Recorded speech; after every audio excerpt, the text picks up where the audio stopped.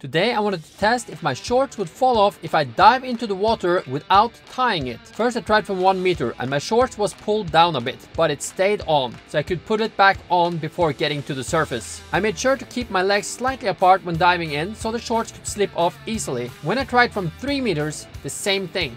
Shorts stayed on, Though, from the feeling of it, I feel like some of the reasons it didn't completely fall off was because of the friction against the Speedo I was wearing. So if I didn't have that on, I believe I would have ended up completely commando.